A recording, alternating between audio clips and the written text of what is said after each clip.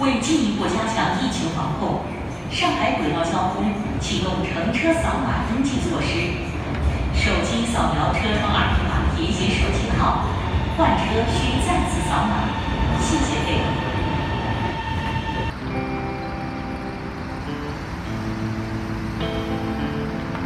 こんにちは、チャイナエイトです。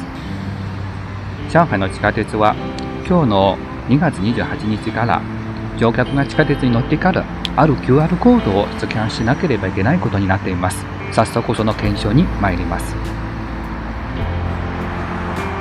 上海の街で走っている車の数が明らかに増えました。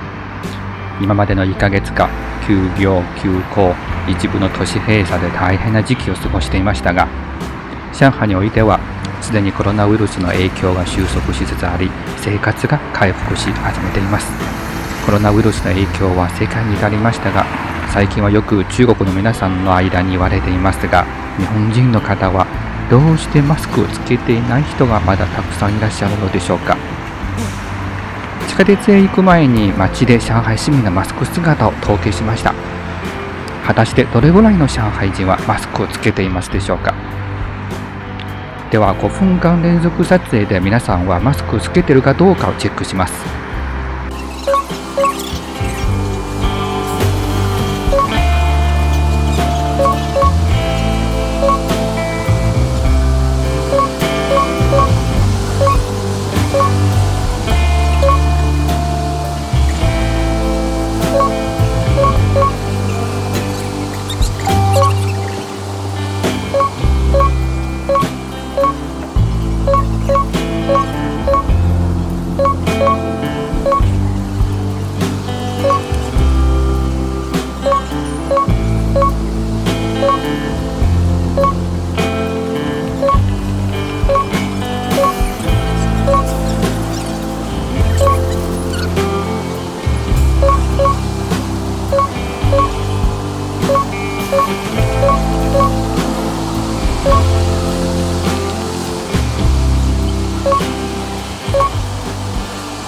たまたま偶然の場所で皆さんがつけてるのではないかと言われるかもしれませんが場所を変えてさらに2分ほど連続撮影しました。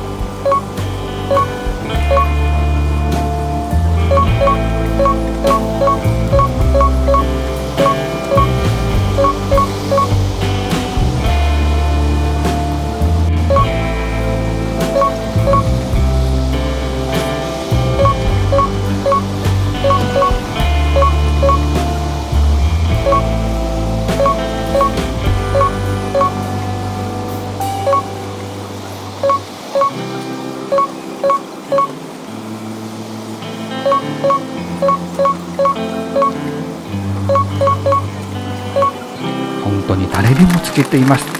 マスクの着用徹底しています。では地下鉄の駅に入ります。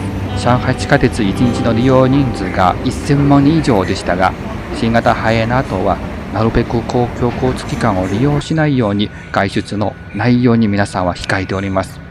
普段ごちゃごちゃの地下鉄の駅は今めちゃくちゃ空いています。一番ひどい時期は1日100万も切る数になっています。10分の1もないです。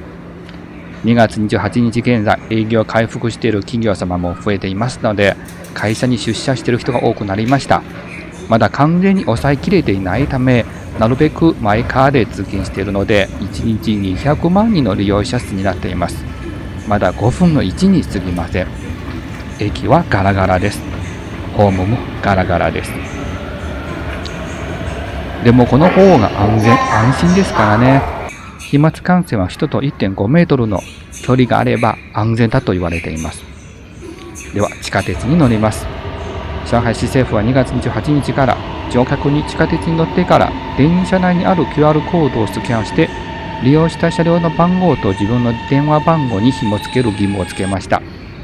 万が一何かあったらすぐにこの車両を利用していた状況をお知らせできるようにしています。さすがガラガラですが安心快適といえば安心と快適ですね。しかも全員マスクをつけています。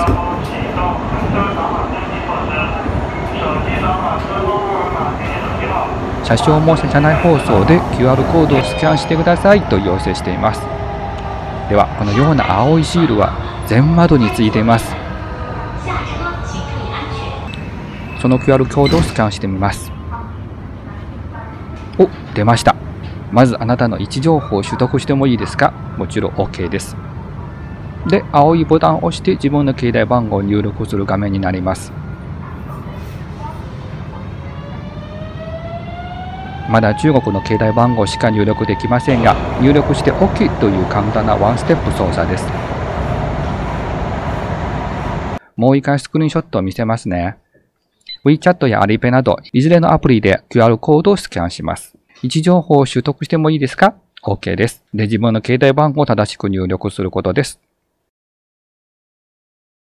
これで完了です。あなたの利用した車両番号がここです。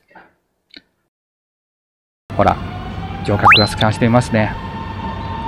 まだ強制的ではなさそうですが、自分が自分のため、なるべく行動軌跡を地下鉄会社に報告した方が、万が一の問題で速やかに自分に連絡が届き、自分や自分の身の回りの人のためになると思います。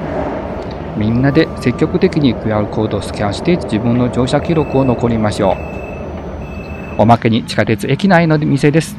コンビニも飲食店も営業再開しています。利用者が少ないのが少し寂しいですが、これから少しずつ社会秩序の回復が見込まれています。この巨大な建物は上海の八幡二競技場です。柵を作ってしまいましたが、1ヶ月も閉鎖していました。でも柵の中は白い花が咲き始めました。梅雨蘭と言います。上海市の花です。一番いい季節が来るようになりますが、皆さんも気をつけましょう。